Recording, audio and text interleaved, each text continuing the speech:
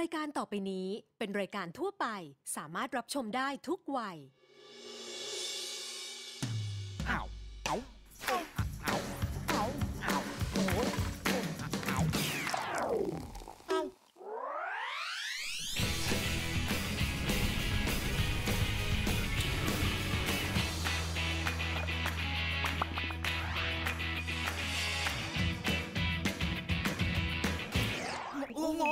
ลังงง พลังงาน ตอนน้ำมันดิบนำมาใช้ประโยชน์ได้เลยหรือเปล่า อยากขยับเข้าไปใกล้เธอ อยากรู้จักตั้งแต่แรกเธอ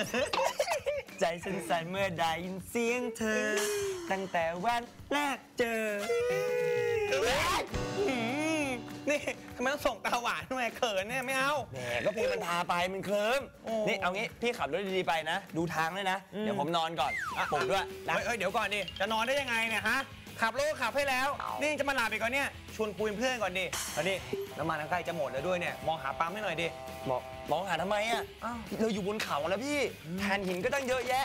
โอ้นี่ถ้าเจอน้ำมันพุ่งมาเมื่อไหร่นะ ก็ตักแล้วก็เอามาใช้ไงได้โอ้เหโหมือนกัน นี่พูดเป็นการ์ตูนไม่ได้อืม ไอ้พวกนั้นเนี่ยมันเป็นน้ำมันดิบน้ำมันดิบเนี่ยมันเอามาใช้เลยไม่ได้ อ๋อ ก็ต้องไปต้มก่อนงี้เพื่อพยาธิไง ถูกต้องเดี๋ยวพยาธิจะชัยรถเออแต่ที่พูดมาเนี่ยก็ใกล้เคียงนะ อะคือไอ้พวกน้ำมันดิบเหล่านี้นะ มันก็มีสารประกอบก็คือสารไฮโดรคาร์บอนนั่นเองอ๋อา นี่ก็คือเป็นไฮโดรเจนกับอืมคาร์บอนนี่เหรอ ถูกต้องนั่นแหละครับ เป็นองค์ประกอบหลักนั่นเองนะครับ ซึ่งจะแบ่งสารประกอบได้เป็นหลากหลายแบบเลยที่เราจะเอามาใช้ อย่างเช่นพวกน้ำมันเบนซิน น้ำมันเตาจาระบี หรือว่าน้ำมันหล่อลื่นยางมาตอยอะไรพวกเนี้ยพอเราขุดน้ำมันดิบขึ้นมาได้แล้วเนี่ยนะไอสารหลากหลายชนิดเนี่ยมันก็จะรวมตัวอยู่ด้วยกันหมดนะซึ่งจริงๆแล้วเนี่ยเรายังไม่สามารถเอาไปใช้ประโยชน์ได้ทันที เราต้องมีวิธีการแยกมันขึ้นมา ซึ่งวิธีพื้นฐานสุดๆเลยนะเขาก็ใช้วิธีการการลำดับส่วนยังไงล่ะอ๋อ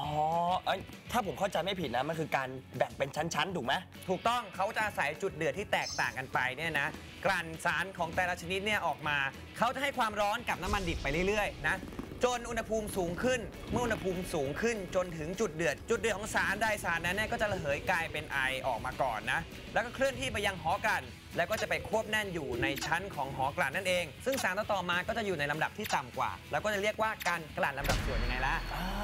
าโหเพิ่งรู้เนี่ยว่าการที่เราจะได้น้ำมันมาใช้เนี่ยมันต้องผ่านกระบวนการเยอะขนาดเนี้ยผมนี่โชคดีจริง ๆ ที่มีพี่อยู่ด้วยเนี่ยนะไม่งั้นว้ายพี่